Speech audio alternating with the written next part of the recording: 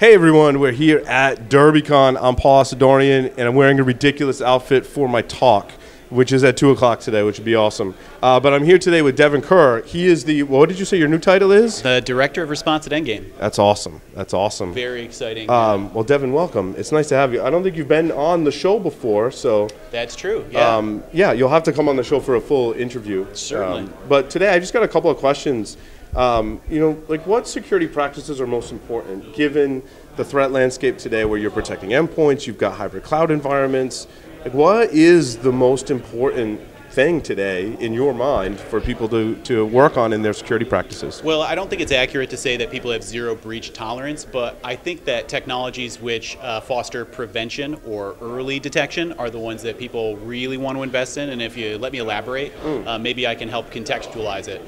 Um, for most for most cases where um, where you're dealing with an adversary, whether it's targeted or non-targeted, um, the cost of your breach is going to be the thing that is the the biggest incentive to acting early. So if you can prevent a thing, um, that saves you the time. But not everything can be prevented. So focusing on things that detect as early in the attack process as possible uh, allow you to basically contain it before it spreads, uh, and then you could just take those those uh, extra funds that you would have spent on a breach or an investigation or uh, an emergency patch session, and you can devote those to personnel, uh, improving technologies, or better yet, invest that in more preventative controls, uh, even simple things like network segmentation. Very simple, not very sexy, incredibly powerful when it comes to adversaries. And Devon, I, I think that some of the benefit there is not direct cost as much as it is the morale of the company.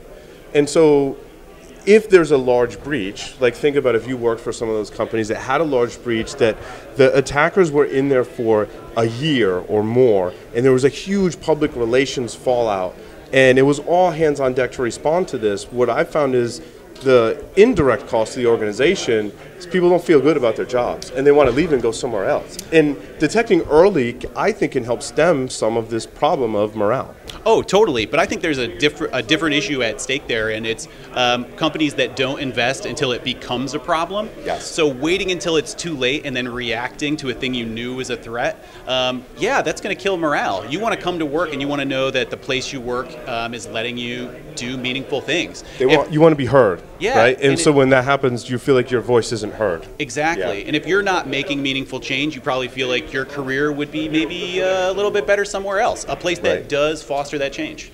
So, what is are some of the important points to note when we want to decrease the time it takes to detect these attacks? Well, I, I would say it's it's visibility. Um, at B-Sides Charm and then at SANS Threat Hunting uh, and Incident Response Summit, Roberto Rodriguez of SpecterOps and I, we gave a talk on quantifying uh, universal detections, uh, rules, hunts, human processes.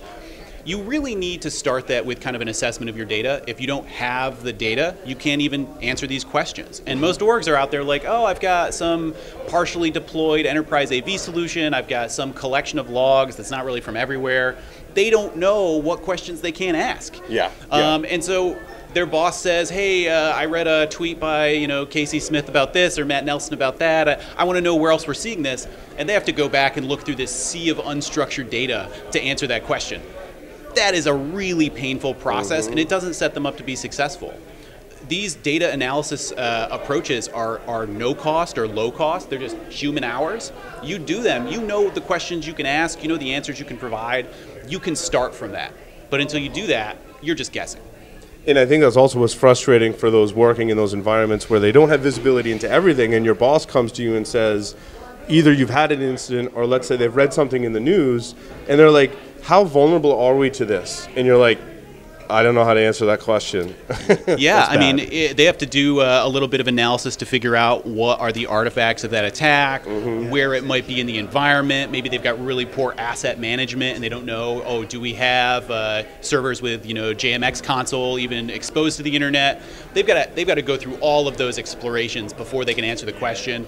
It just adds time. It decreases leadership confidence. Um, so again, I you know I think early and often is the way that we should approach this. Just like we would approach say like a physical. Yeah. Um, you know, you don't know what you don't know, and so ask the question, get the answer, and then you know begin your program. I also think a great framework that Endgame and others have latched onto is a MITRE ATT&CK framework for setting up that discussion. So when your boss comes and says, how could this happen, you can say, well, I've got this framework that we've been testing against to identify those scenarios for which I believe we're most vulnerable, right? I mean, that sets Absolutely. up a lot of, I think, very engaging and useful conversations to have about securing an organization. So I, I think with ATT&CK, you have to really understand what it is and it isn't. ATT&CK, in my opinion, is the most complete knowledge base of adversary tradecraft, and it, it's cross-referenced by things that are really helpful for these purposes. One, uh, sources of evidence. So you can look and say, oh, it's got five sources of evidence listed. I only have one of those.